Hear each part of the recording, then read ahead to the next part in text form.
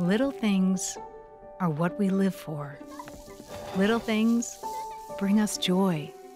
And little things inspire big breakthroughs. From genetic screening to immunotherapies, Florida Cancer Specialists delivers personalized, targeted treatment to you so that you can focus on all the little things every step of the way.